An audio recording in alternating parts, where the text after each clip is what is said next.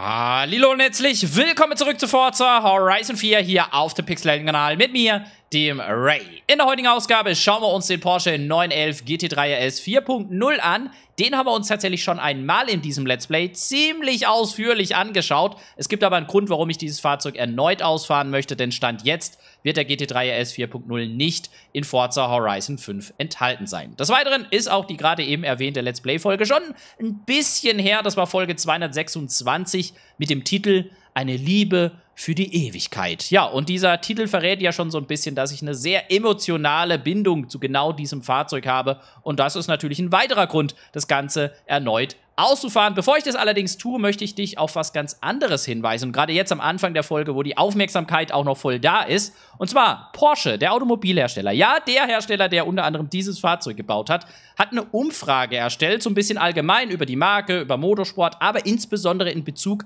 auf Rennspiele oder überhaupt auf Spiele. Die möchten nämlich einfach mal aus der Community wissen, okay, was ist denn der Stand der Dinge? Was bewegt euch so ein bisschen? Und da haben sie mich gefragt, hey, Möchtest du nicht deiner Community, also der Pixelhelden-Community, diese Umfrage teilen?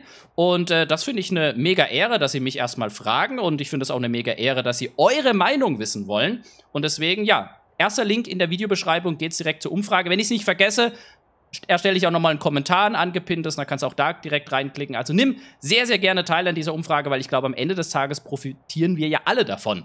Ja, wenn die da eine gute, ehrliche Meinung einfach aus eben der Gaming-Community haben. Und des Weiteren wird auch unter allen Teilnehmern tatsächlich was äh, verlost, nämlich Bose-Kopfhörer. Also von dem her kann man ja nichts verlieren, außer vielleicht 10 bis 15 Minuten seiner Zeit. Aber ich glaube, das ist alle mal wert. So, das zu dem Thema und äh, jetzt aber zum Fahrzeug. Wie gesagt, wir sind das schon mal ausgefahren. Dementsprechend waren wir auch schon mal auf der Teststrecke unterwegs.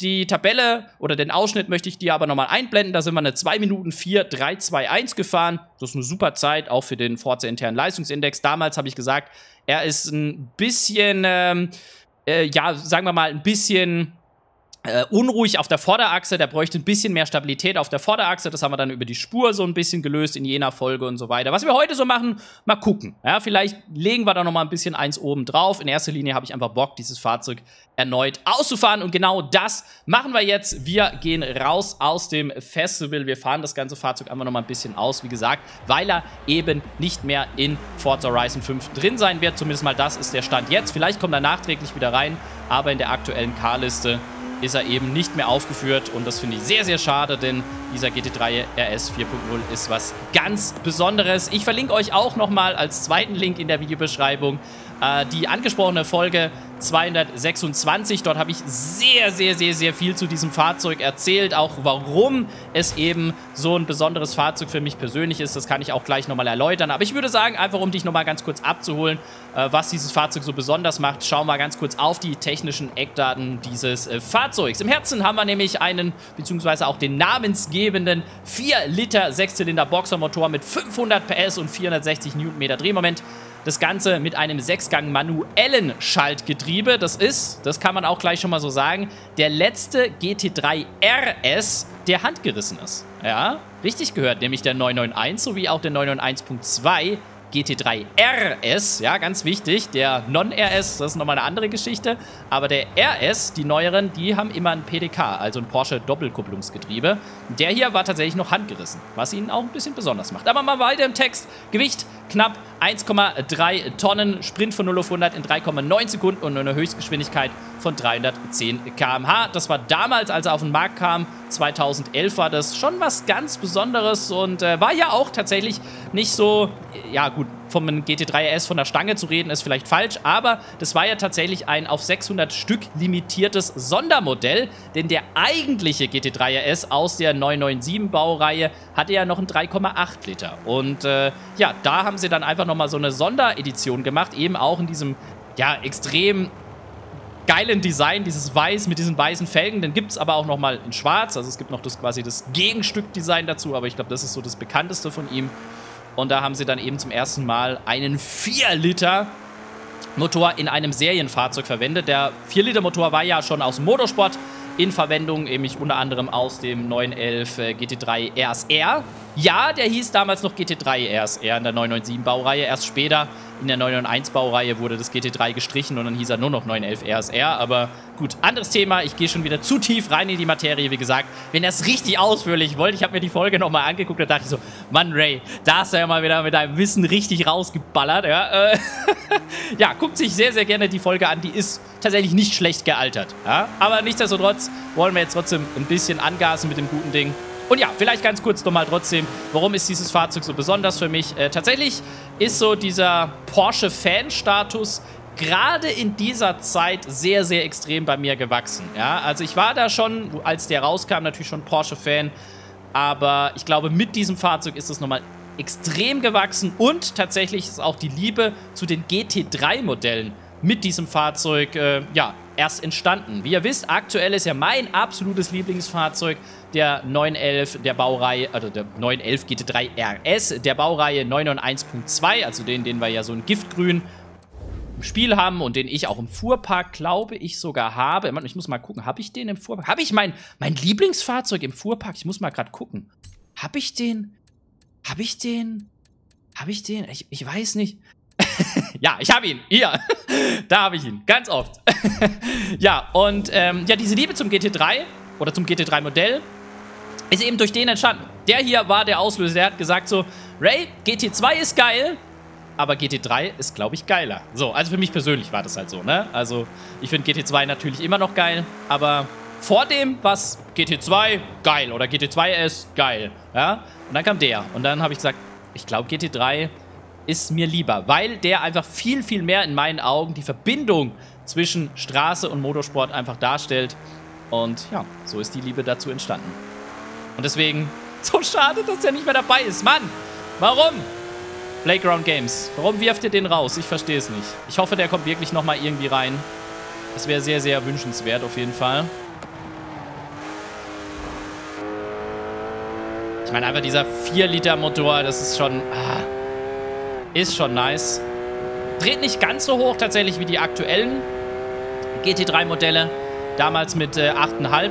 1000 Umdrehungen ist, ist nicht wenig, ich weiß, aber ja, heute drehen sie sogar weit über 9000 Umdrehungen. Das ist natürlich auch nochmal eine ganz andere Nummer. Aber das war da so der Initialzünder für diese ganz, ganz, ganz besondere Reihe einfach. Und ich würde sagen, ja, wir fahren auch mal direkt ein bisschen in Rennen. Ich würde aber sagen, tatsächlich, wir machen doch vielleicht mal jetzt nicht unbedingt Anything Goes, sondern wir machen doch vielleicht German Performance oder Porsche vielleicht. Ja, wir machen mal Porsche, komm. Einfach mal gegen andere Porsche andrehen, gucken wir doch einfach mal, wie der dann so abschneidet. Und ja, das sieht einfach super geil aus. Also immer noch, finde ich, super zeitlos.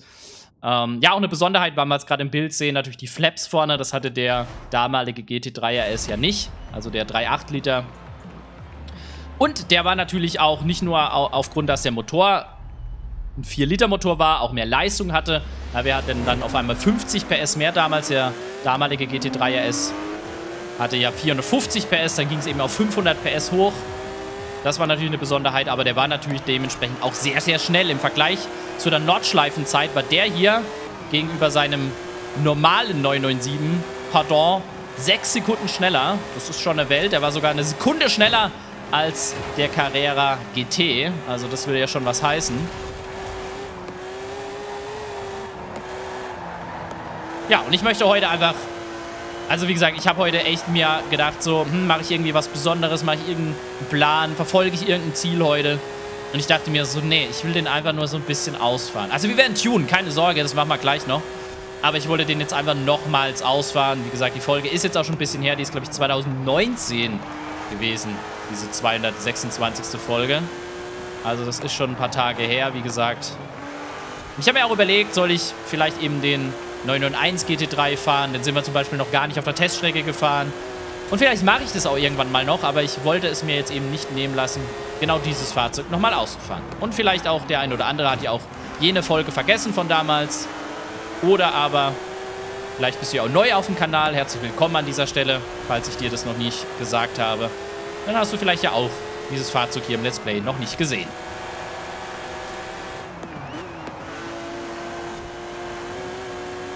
Ja, und man kann auf jeden Fall wieder feststellen, die Vorderachse ist auf jeden Fall ein bisschen, bisschen, ja, lose, nenne ich es jetzt einfach mal. Da ist ein bisschen mehr Stabilität vorne, würde dem helfen. Und ich meine jetzt nicht unbedingt äh, untersteuern. Ja? Ich meine wirklich einfach, dass er ein bisschen mehr Grip auf der Vorderachse aufbaut. Ich glaube, das würde dem schon helfen. Klar, zwangsläufig reduziert das auch dann das Untersteuern, was er dann doch ein bisschen hat, so in die Kurven rein. Aber ja, also weit, weit, weit weg von, dass sich das Ganze irgendwie schlecht fährt. Ja, man erkennt natürlich auch, dass es ein Ami-Modell ist. Ja, also diese Abstandshalter da hinten beim Nummernschild hat natürlich das europäische Modell nicht. Das ist äh, natürlich wieder Ami-Modell typisch. Das sieht natürlich optisch natürlich ein bisschen hässlich aus. Aber gut, darüber können wir hinwegsehen, weil wir wissen, dass der ja, Originale, sage ich jetzt mal, oder der aus Deutschland das eben entsprechend nicht hatte. Uh.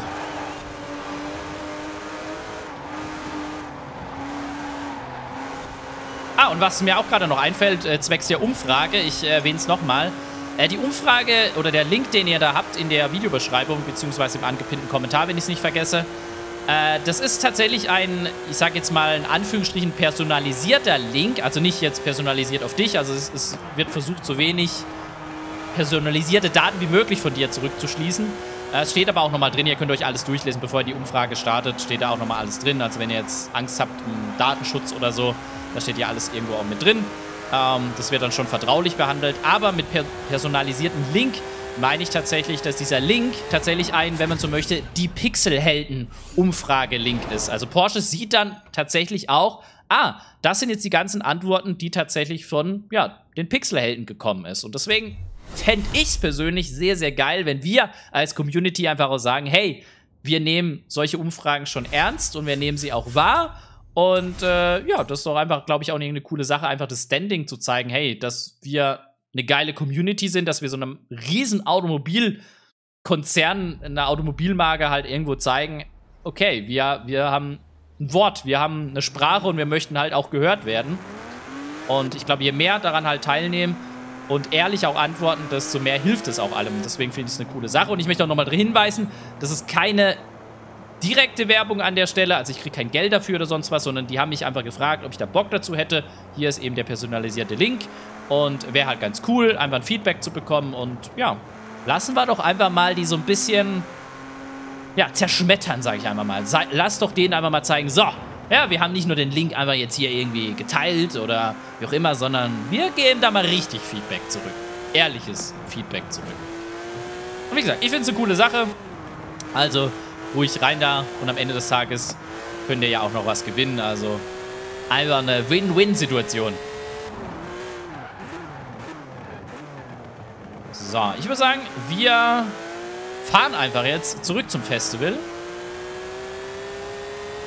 Und dann gucken wir doch mal, was wir da so machen können.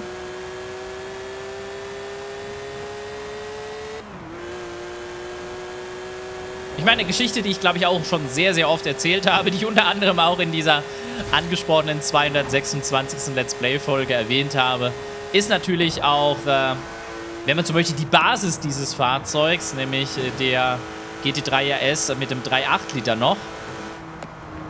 Und zwar, da hat ja Porsche, finde ich mal, den Vogel komplett abgeschossen. Und zwar sind die ja tatsächlich mit dem GT3 RS oder mit einem GT3 RS 997 an die Nürburgring Nordschleife gefahren. Das war im Jahr 2010.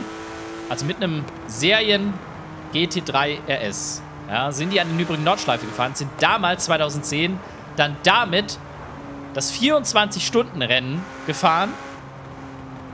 Ja, also die sind von Stuttgart an die Eifel oder zur Eifel gefahren, sind das 24-Stunden-Rennen gefahren, sind im Gesamtrang 13. geworden.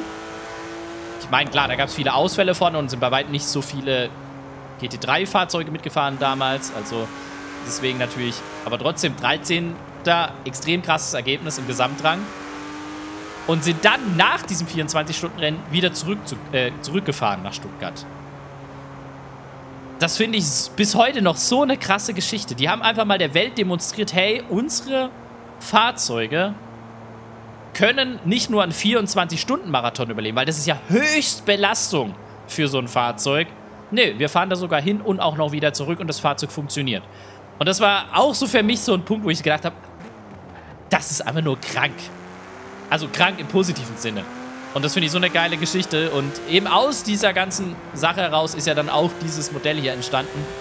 Wo sie gesagt haben, okay, wir möchten nochmal eins oben draufsetzen, nochmal das ganze Fahrzeug verbessern. Denn das kann man auch nochmal sagen, der 4.0 ist nicht nur einfach dieser 4-Liter-Motor mit reingekommen, der ist einfach nochmal konsequent einfach weiterentwickelt worden. Noch mehr rennstreckentauglicher gemacht worden, nochmal straffer ausgelegt, nochmals mehr für die Rennstrecke. Und ja, einfach so diese, diese, diese Porsche-DNA einfach noch mehr irgendwo so mehr ausgedrückt. Das finde ich halt sehr cool an diesem Fahrzeug. Deswegen, ah, ja, so ein bisschen ein lachendes und ein weinendes Auge, dass wir ihn heute nochmal ausfahren. Ein letztes Mal. Ich hoffe einfach, da kommt nochmal rein irgendwie. So irgendwie über ein Auto... Ne, Autopass vielleicht nicht, aber halt über, über eine Spielliste oder so, dass sie den wieder nachträglich reinbringen. Aber ich glaube, diese Hoffnung ist halt so ein bisschen... Ja, vielleicht wirklich nur eine Hoffnung, weil ich habe auch immer gehofft, dass zum Beispiel der Sports Classic, auch ein so geiles Fahrzeug, dass der nochmal wieder in die Forza-Serie zurückkehrt. Aber auch das leider vergebens. Das sind alles sehr, sehr coole Modelle. Und da muss man jetzt nicht mal Porsche-Fan sein. Die sind wirklich sehr besonders. Aber gut. Aber gut. So ist es halt. So, jetzt aber mal mit Vollgas hier zurück. Wobei, nicht ganz mit Vollgas. Ich würde sagen, diese kleine Serpentinstraße, die nehmen wir noch mit. Um einfach nochmal so ein bisschen die Sportlichkeit zu untermauern von diesem Fahrzeug. Ja, im Innenraum sieht man auch nochmal, dass da ja die Geschwindigkeit in MPH angezeigt wird, was nochmal unterstreicht, dass das jetzt ein US-Modell ist. Tut aber nichts zur Sache, ist von den Leistungseckdaten genau gleich. Ja, und du merkst halt einfach so dieses, diesen Grip auf dieser Hinterachse, das ist der Wahnsinn einfach bei diesem Fahrzeug. Also diesen langsamen Ecken raus. Der fährt sich halt noch so richtig typisch 911 einfach. Super viel Grip auf der Hinterachse. Muss ein bisschen aufpassen, wenn man in die Kurven reingeht. Aber gerade so aus den Kurven raus, einfach ein geiles Gefährt.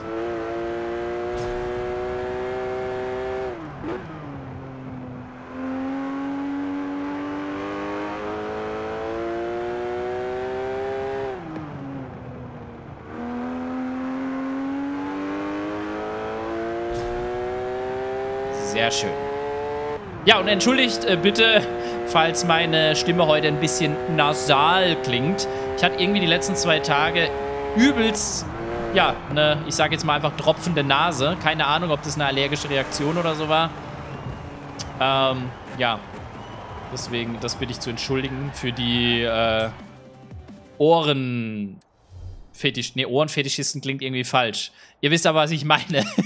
Für diejenigen, die da sehr allergisch drauf reagieren, wenn etwas nicht ganz perfekt klingt, ja? So. Aber ich glaube, müsste eigentlich aktuell ganz gut klingen. So.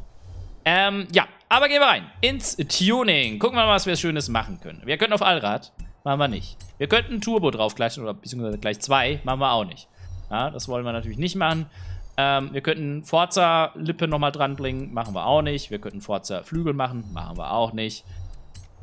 So, Reifen, da haben wir tatsächlich schon äh, Semi-Slicks drauf. Und das ist ja auch eine tolle News, ne, die wir jetzt die letzten Tage erfahren haben. Wir dürfen in Horizon 5 tatsächlich Semi-Slicks anbringen. Nur nicht auf dieses Fahrzeug. So, wir gehen aber mal hier ins Volle. Wir machen hier 275er vorne hin und 345er hinten. Wir können auch die Spur etwas breiter machen vorne. Gucken wir mal. Ich glaube, da können wir sogar echt in die Vollen gehen. Ihr seht auch einiges schon in Besitz. Das ist halt noch vom Tuning von damals. Hier gehen wir in die Vollen. Ich glaube sogar, dem würden sogar größere Fällen ganz gut stehen. Die Frage ist nur, ja, der Reifenquerschnitt. Da hatte ich mich auch erst die letzten Tage mit dem lieben Andi unterhalten. Liebe Grüße gehen raus an dieser Stelle. Wie geil wäre es jetzt eigentlich noch als Zusatz, dass wir nicht nur die Felgen größer machen dürfen, sondern auch die Reifen an sich größer machen dürfen. Gerade in so Modellen wie der C7 Corvette oder der C8 Corvette würde das so gut tun, wenn man größere Reifen insgesamt verbauen könnte. Also nicht nur die Felgen, sondern einfach insgesamt. Ähm, ja, ich glaube, ich mache es aber trotzdem. Auch wenn es ein bisschen wenig Querschnitt dann ist, aber irgendwie finde ich so diese 20 Zoll stehen dem ganz gut. Das kann man schon machen. Äh, ja, dann machen wir trotzdem mal Kupplung und alles einfach so ein bisschen auf Vordermann bringen. Warum nicht? Diff rein. Also, wir haben, wie gesagt, in der letzteren Let's Play-Folge mit dem ein bisschen Piano gemacht. Könnte nochmal einen zusätzlichen Überrollkäfig reinbauen. Ich glaube, der ist sogar auch dann nur hinten drin. Ich meine, beziehungsweise der ist überhaupt noch nicht drin, ne? Normalerweise hat er den ja, also der kommt auf jeden Fall rein. Hallo? Überrollkäfig muss rein im GT3 RS. So, Gewicht nehmen wir aber ein bisschen ab. Wir gehen, wie gesagt, mal ein bisschen in die Vollen. Ja, und Leistung, da würde ich tatsächlich sagen, wir machen mal so eine 550 PS-Version oder so. Jetzt muss ich noch ganz kurz rechnen, was sind denn 550 PS? Das ist ja jetzt ja die Frage. Ja.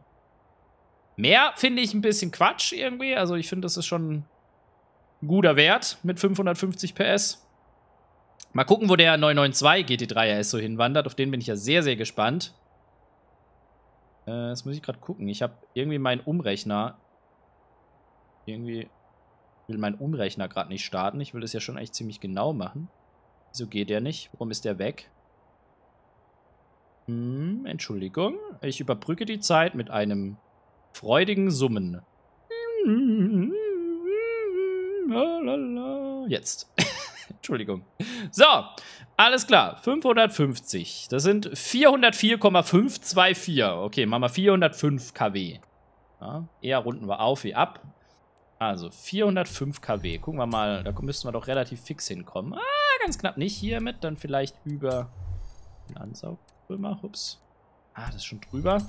Aber ich will das schon ziemlich genau machen. Boah, okay. So einfach ist es gar nicht. 406. Ja, ich glaube 406 ist da fast schon mit am genauesten. Bei, uh, das ist ja perfekt sogar mit 405. Aber, was ich auch nochmal ausprobieren möchte, was würde über die Nockenwelle gehen? Weil dadurch könnten wir ja höher drehen, so wie das Vorbild. Dann wäre, oh, das wäre fast sogar noch besser. Da wären wir zwar nicht bei 405, sondern bei 406, aber ist ja egal. Aber ich würde es schon feiern, weil dann könnten wir halt wirklich diese 9000 Umdrehungen machen, was dann danach ja auch so kam. Finde ich gut, machen wir. Und ich glaube sogar fast, bei den Felgen sollen wir vorne vielleicht sogar so ein bisschen das... Vorne sogar vielleicht 19 und nur hinten die 20 machen? Ich weiß es gerade nicht. Wie sieht denn das aus? Ich glaube, nee, die, die 20, die stehen dem echt gut. Ich würde es so lassen. Wir machen das mal so. Das passt. Installieren wir. Ich glaube, dann haben wir ein richtig geiles Gerät auf jeden Fall erschaffen. So, wir machen ein bisschen Feintuning auch schon mal. Bisschen 0815, was man halt einfach weiß, was funktioniert. Getriebe können wir erstmal lassen. Hier können wir ein bisschen auch weniger machen. Der braucht nicht so viel Spur, tatsächlich nicht. Können aber gleich auch nochmal die Daten auch auslesen. Äh, Stabi würde ich vorne etwas weicher machen. Also insgesamt weicher machen. So, auch hier. Der kann schon ruhig ein bisschen tief liegen. So.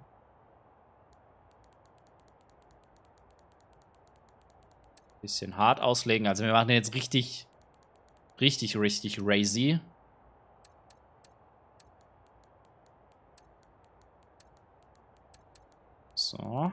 Das können wir erstmal lassen. Wobei, können wir hier auch ein bisschen mehr. So. Aero können wir nicht anpassen. Diff würde ich ein bisschen weniger machen. So, dann gucken wir doch mal, wie sich das Ganze erstmal fährt. Und dann können wir immer noch anpassen, ein paar Sachen.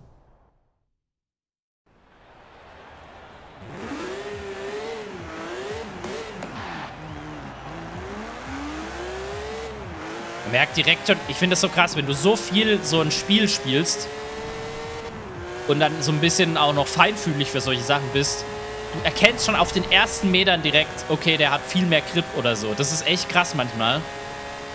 Dass man so mit ganz wenigen Sachen schon direkt Dinge feststellt.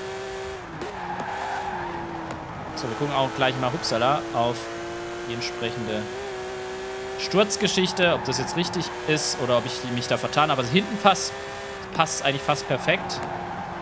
Können wir sogar einen Tick sogar eher nochmal drauflegen. Vorne können wir sogar eher nochmal eins wegnehmen. Ein Klick.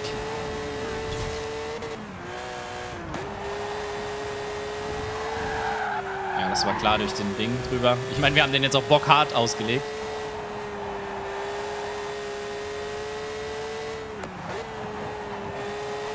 Ja, also pass mal auf. Wir machen vorne, würde ich sogar sagen, zwei Klicks weg und hinten sogar eher einen Klick wieder dazu. So. Weil können sogar, machen wir mal so, das war ein bisschen, ey, machen wir mal sowas. Ähm, das alles passt. Ich glaube, hier würde ich das sogar weglassen, tatsächlich. Und auch das würde ich erstmal so lassen. Wobei, vielleicht sogar echt ein bisschen wegnehmen. Wobei, warte mal, lass das anders lösen. Oder? Nee, lass es über die Stabis lösen, finde ich gut. Über die Stabis und dann der Rake lassen wir so, wie es ist. Das ist okay.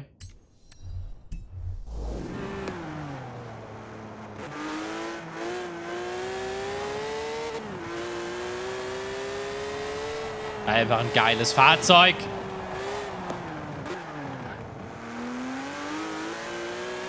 Einfach auch dieses Weiß-Weiß. Ah, diese Kombination. Also ich bin echt kein Freund von weißen Felgen eigentlich, aber bei dem Fahrzeug ist es einfach nur genial. Der hat super viel Grip einfach unten raus. Das ist der Wahnsinn. Das gefällt mir so gut an dem. Du kannst einfach voll drauflatschen, wie wenn er Allrad hätte. Gut, ich meine, klar, wenn du, wenn es übertreibst, dann kommt er auch quer. Ja, wenn ich jetzt hier so ein bisschen so fahre. Aber trotzdem, wenn du es normal fährst, wie man so einen 911er halt zu fahren hat, dann holla die Waldfee.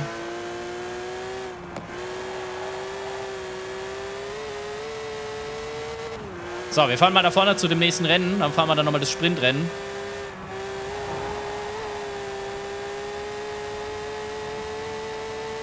Ja, und für die 5 Minuten Tuning-Geschichte wieder mal, finde ich, ist das echt ein sehr cooles, gelungenes Tuning. Aber gut, die Basis ist halt auch mehr als genial.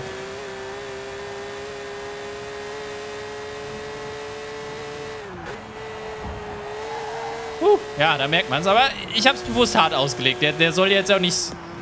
Der soll ja jetzt auch nicht alle Bodenwellen wegschlucken und sonst was. Der soll ja wirklich jetzt direkt und hart sein. Er soll richtig racy sein.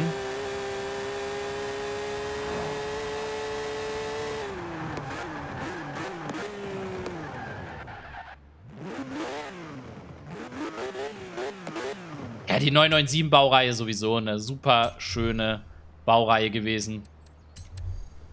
So, wir erstellen erneut was. Äh, ich würde sagen, ja, machen wir mal German Performance. Komm, gucken wir mal, was wir da so dann als, ups, als Gegner haben. Äh, Frühling können wir lassen. Nee, nass will ich jetzt nicht unbedingt haben. Das können wir auch fliegend machen.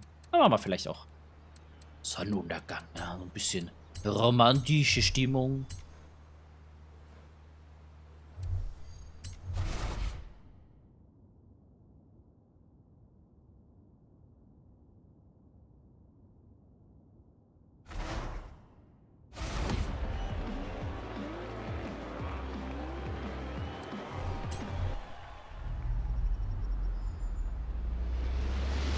Es waren wieder ganz viele TTs mit, war ja klar. Ups, jetzt habe ich den Start ein bisschen verpennt. Na, gucken wir nochmal, wie wir uns gegen die TTs, die so ein bisschen gecheatet sind, aber ist okay, wie wir uns gegen die so ein bisschen schlagen können.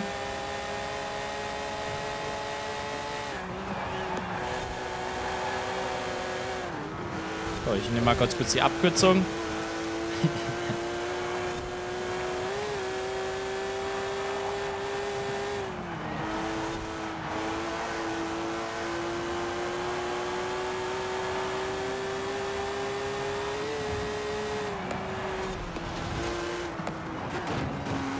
Panamera macht jetzt hier Roadblock.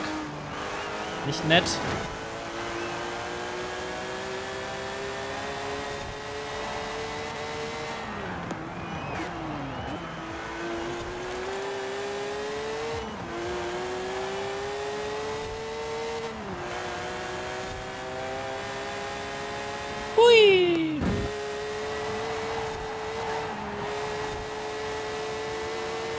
Ja, jetzt habe ich natürlich dadurch wertvolle Zeit verschenkt. Oh, da haben wir noch ein Foto noch nicht. Ah, das wird wahrscheinlich der M6 Forza Edition sein. Dann können wir ja kurz gleich noch machen, wenn wir ihn überholen. Weil ich davon ausgehe, dass wir ihn überholen werden. Das Auto fährt sich so geil. Sorry.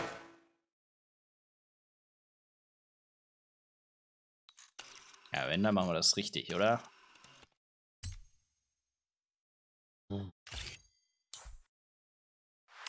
Ja, Forza Edition. Ah, das Auto ist einfach so optisch so eine Granate, ne? Ah. Tut mir leid. Aber ich schwärme einfach für die, den.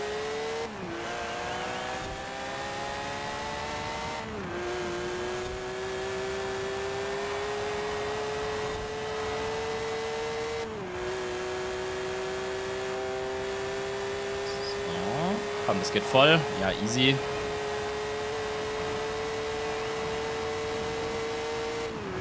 Ja, das wird jetzt nicht so leicht gegen den SLK, glaube ich. Der hat gut Bums. Ja, jetzt fehlt uns ein bisschen die Speed. Aber das ist jetzt auch nicht unbedingt die, Stär die Stärke des GT3. Aber guck mal, der kriegt die Kurven nicht. Aber trotzdem. Boah, das wird knapp. Zieh! Komm! Ja, ja, ja, ja, ja, ja. Wow, Fotofinish. Aber ich glaube, es hat nicht gereicht, oder? Nee. aber was für ein Fotofinish. Geil. Oh, ja, hätte ich, hätte ich mich nicht von Panamera so roadblocken lassen. Ich glaube, dann hätte es am Ende gereicht. Aber was soll's. Da kann man sich auch mal einem SLK geschlagen geben. Ja. So, meine Lieben. Es ist leider schon wieder vorbei mit dieser spaßigen Angelegenheit. Aber ich hoffe, dieser erneute Ausflug mit dem GT3 RS 4.0 hat euch gefallen. Mir hat es auf jeden Fall sehr viel Freude bereitet. Jetzt kann ich auch so ein bisschen Abschied nehmen. Mit ein bisschen Funken Hoffnung, dass wir ihn trotzdem nochmal wieder zurückbekommen werden. Irgendwann. Früher oder später.